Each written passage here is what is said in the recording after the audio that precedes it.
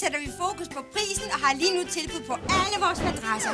Vi har drømmetilbud og tre dages tilfredshedsgaranti. Tre dage? Nej, 100 dages tilfredshedsgaranti på alle vores madrasser. 100 dage? Det er jo helt godnat. Ja, vi ses i Biva.